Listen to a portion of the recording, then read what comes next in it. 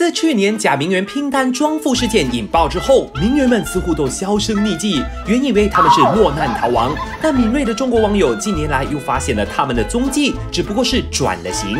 从不怕冻死、天天在雪地里穿比基尼的雪原，身穿贴身或露骨道袍的道员，热爱艺术的画员，到潜入佛门圣地的佛缘，装病的病源，还有热心公益的支教员。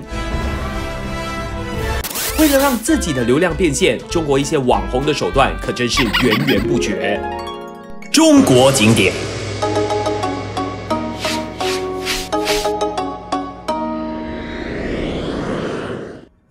一身清凉忙抄经，长裙美腿念心经，吃斋礼佛求安心。一句句文案离不开佛语，一张张美图却离不开世俗。这就是名媛二点零，网友嘴里的佛缘。与名媛不同，他们不去高档场所，倒是潜入了佛门圣地，也不想用美食佳肴，更倾向于素食茶艺。但名媛若有七十二变，网友就有火眼金睛。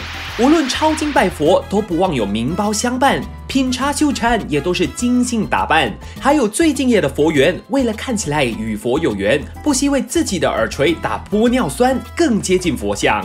虽然不贪图钱财，但因与佛有缘嘛，有的佛缘网红就开始把平安锁等其他的首饰售卖给有缘人。在淘宝上看似只要几十块钱的首饰，到了佛缘手里开了光，哎呦不得了，就是个几百块钱，但无所谓啦，平安无价嘛。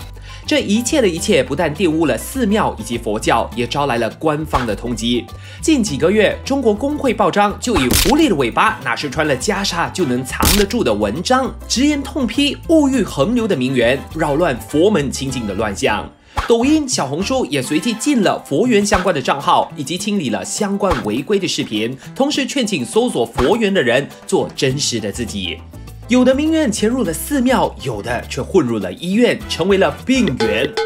据传，即便患上某炎、某症、某癌，病人们仍然会神色甜美的躺在病床上。病员网红的经历也会引起众多的关注，粉丝们也会留言表达同情，祝早日康复。但神奇的是，通过食用某种保健品，这些重症便能药到病除。若不行的话，得动手术，手术也一定会成功。伤疤也会因为某牌子的疤痕修复贴，令皮肤完好如初。而病人们也都会时时刻刻热心的向粉丝分享。这些救了自己一命的神奇药品，最后也得隆重介绍一下热心公益的支教员。支教就是特地到落后地区的乡镇学校进行教学的工作。支教员顾名思义，便是人美心更美的天使级网红。其中一位特别高调，甚至被官媒点赞的龙妹妹，就遭到网友的怀疑。龙妹妹今年二十八岁，在外国留学九年，却堪称已经支教了十年。另外，十年支教二十四所山区学校，一年平均就差不多两间半，加上课业，竟然还能够忙得过来，实在令人佩服。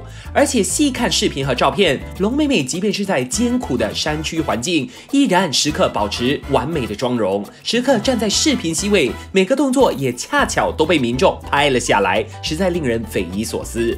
说到底，在社交媒体以虚假的人设吸睛，已经不是什么新鲜的事儿了。什么缘都好，只不过是换个人设吸眼球罢了嘛。最令人担心的不是在哪拍什么，而是青年因为社交媒体的影响，开始相信爆红就是暴富的捷径，这种急功近利的扭曲思想。